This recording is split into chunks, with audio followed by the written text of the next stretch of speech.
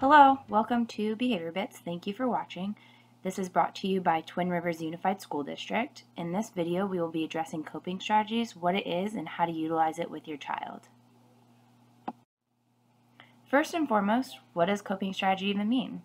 Coping strategy is an action or thought to take to reduce or manage stress. It helps reduce and or eliminate stress, and it also helps calm our emotions down. Um, every human utilizes a coping strategy. Every human uses different coping strategies in many different ways. Um, not everyone copes the same way. So it's super important to recognize what your child's coping strategy is. The three questions that you want to ask your child is what helps you calm down? You can give examples to your child and you can also test out the coping strategy to see what works best. Again, every child has a different coping strategy. In the previous slide, I mentioned that there's multiple types of coping strategies. In this slide, I mentioned the most common coping strategies that children and even adults utilize. That is, asking for a break, asking for help, asking for more time, taking deep breaths, breathing in and letting it out, blowing bubbles, and or even squeezing a stress ball, pillow, squishy toy, Play-Doh. An important question to ask is when do I teach my child to use a coping strategy?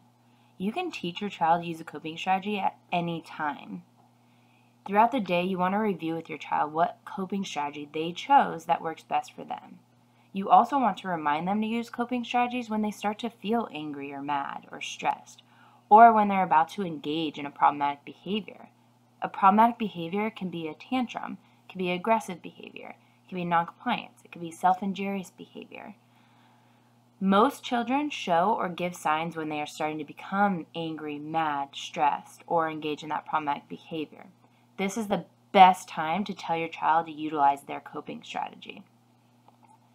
Some common signs that one is feeling angry, mad, upset, or about to engage in a problematic behavior is a clenched fist, clenched jaw, looking away from you, ignoring the instruction, refusing to do work, grunting, whining with or without tears, hands uh, across their body, and their head down. These are just some examples of behaviors a child may have before they become angry or engage in that problematic behavior. You want to note what your child's behavior is before they engage in that problematic behavior so we can teach them to utilize a coping strategy to help them calm down.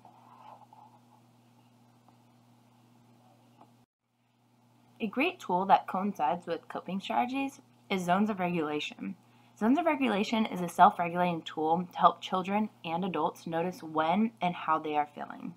For example, there's four zones. Blue, green, yellow, red.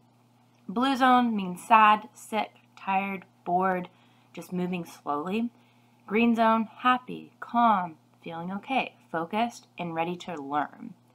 Yellow zone is frustrated, worried, can be silly, excited, or just loss of some control. Red zone is mad, angry, terrified, yelling, hitting, out of control, engaging in that problematic behavior. This self-regulating tool is a great visual and a great way to teach your child when they are in the yellow zone to utilize coping strategies so they do not get into the red zone.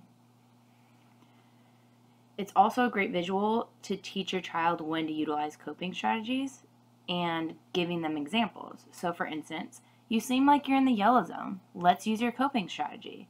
Or, great job calming down and getting to green zone. Some children love using the zones of regulation by using the color zones and not saying how they're feeling. So for example, if I'm feeling frustrated, I can say, I'm in the yellow zone.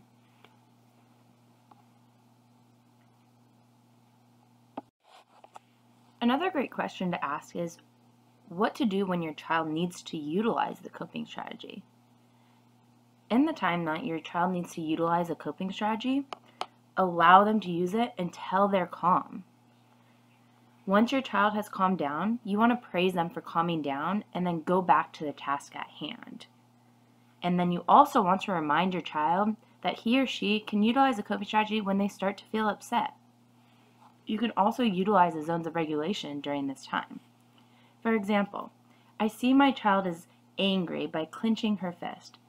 I tell her, hey, it looks like you're angry. Let's breathe in and breathe out. Let's take some deep breaths. I let my child take some deep breaths. It may take her some time until she's finally calm. Once she's calm, she will be happy, and that's when I will reinforce her by giving her a high five or just saying, hey, good job calming down. Let's get back to work. But remember, when you start to feel upset again, you can utilize coping strategies. Some coping strategy reminders. Coping strategies is a great tool to calm emotions. Remember that every person uses different methods of coping strategies. So you want to ask your child what coping strategy works best for them. You also want to remind your child throughout the day that he or she can use their coping strategy when they feel upset. Lastly, have your child use their coping strategy when they show signs of problematic behavior.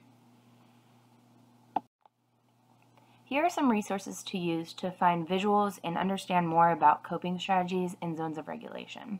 The first bullet is a YouTube video called De-Escalation Works that Hopebridge Autism Therapy Center had made a song out of. I highly recommend you listen to it. Thank you for your time and watching Behavior Bits and learning some new things about coping strategies.